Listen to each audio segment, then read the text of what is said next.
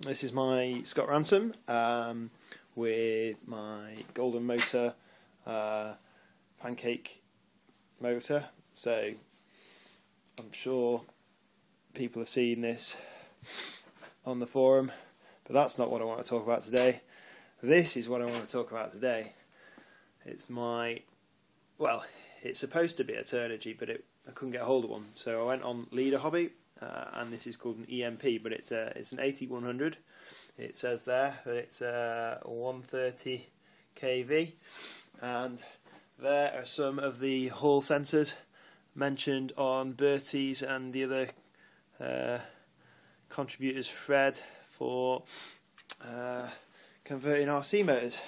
So as you see, Golden Motor 48 volt controller, 48 volt uh, lithium iron phosphate and uh, just turn this on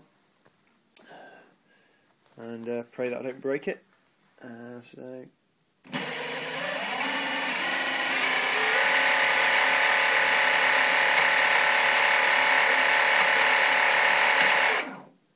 So uh, that was really like a quarter of the throttle, so bit worried about pushing it any further than that. I've already blown up one of my controllers through probably I think shorting one of the phase coils.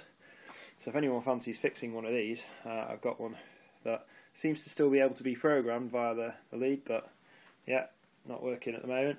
So that's basically all the halls uh, there.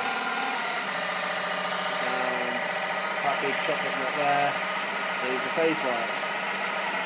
Um, it's kind of raised off the ground, so I don't have enough uh, don't have enough power uh, line. Uh, so anyway, this was just a bit of a test rig to see whether I could get it to work, and I did. So sooner or later, it's going to go on a Norco like that, but it's in that box. It's a Norco Savage, a Root Bear one. That, as you see, has already got a hub motor. That's going to stay as it is. I should have got that out before. Anyway, this is the main event. Um, so, yay.